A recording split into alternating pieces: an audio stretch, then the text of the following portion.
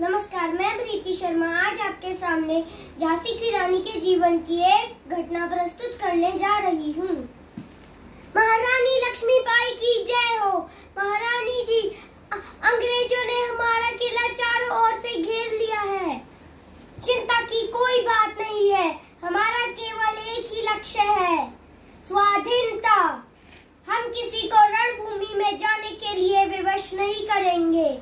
तात्या गुरु पूरे हिंदुस्तान को आप जैसे योद्धाओं की आवश्यकता है। भाई साहेब, मैंने तो सिर्फ़ आपको शस्त्र विद्या सिखाई है, किंतु आपने तो बुंदेलखंड के बच्चे बच्चे को धरती माँ पर मर मिटने का ऐसा पाठ पढ़ाया है कि जो आने वाले सदियों तक वे भूल नहीं सकेंगे। आप तात्या को अपना गुरु मानती है ना तो आज ये तात्या आपसे गुरु दक्षिणा माँगता है। हमें स्वयं से दूर मत कीजिए भाई साहेब। हम मरते दम तक आपके साथ बोलो महारानी लक्ष्मीबाई की जय। नहीं, जय जय अभी नहीं। जय जय की हुंकार तभी विजय में बदलेगी, जब हम इन तीन रंगों पर पड़े, इन फिरंगियों की दास्ता के दाग धो देंगे।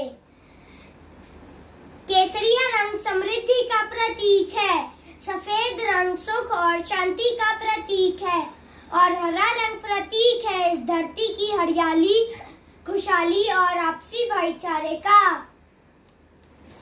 अगर हिंदुस्तान के सारे झंडे इन तीन रंगों में समा जाए तो संसार की कोई भी ताकत हमारी एकता को समाप्त नहीं कर पाएगी। बोलो, हिंदुस्तान